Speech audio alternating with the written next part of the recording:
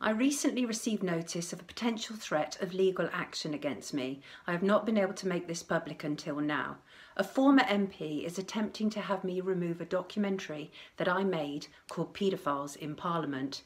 It is available free online and has been so for over two years.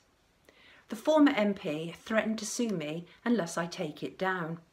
I was first made aware of this threat to take legal action a week before I officially heard from this former MP, as information had been leaked to a blog.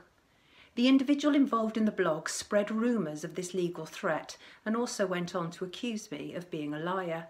I am in consultation with Brand New Tube's legal team regarding the type of action that will be taken against this individual and others involved.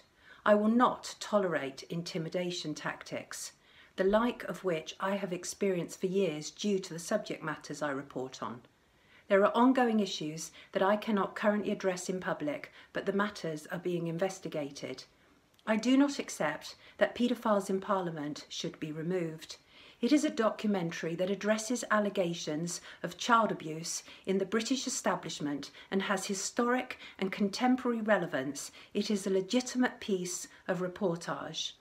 I will vigorously fight this attempt by this former MP or anyone else to remove the documentary.